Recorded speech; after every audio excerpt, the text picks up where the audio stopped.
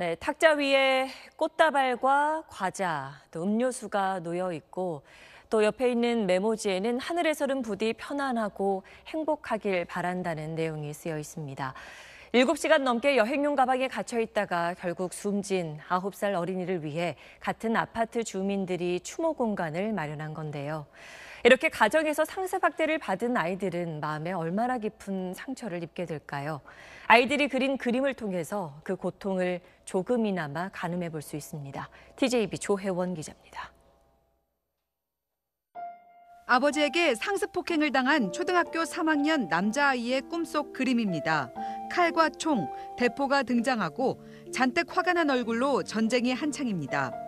그림에 등장하는 인물들 곳곳에 자아가 투영됐는데 그중 한 명이 눈을 똑바로 바라보며 한마디를 남깁니다.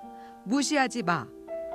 엄마가 일을 나가 집을 비우면 아버지의 상습 학대를 고스란히 견뎌내야 하는 초등학교 2학년 여자아이의 그림에는 무서운 좀비들이 등장합니다. 눈물을 흘린 채 도망가며 엄마를 찾지만 엄마는 보이지 않습니다. 15살 지적장애 남학생은 알코올 중독 아버지의 폭행과 폭언에 결국 엄마가 가출했고 시설에서 생활하고 있습니다.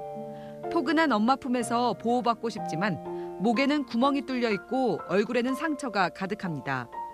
상습 학대를 당한 아동들의 그림에는 폭력성과 동시에 자존감이 떨어져 위축된 모습의 공통점이 있습니다. 화, 분노 이런 게 내재되어 있기 때문에 언어로 표현하기보다는 자기 부모와 똑같이 폭력을 가할 수 있는 어떤 그런 문제가 가장 두드러진다는 거예요.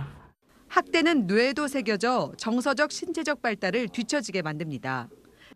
특히 만 2세까지 학대는 치명적이고 만 10세가 될 때까지의 괴롭힘은 어른이 된 뒤에도 돌이킬 수 없는 후유증을 남깁니다. TJB 조혜원입니다.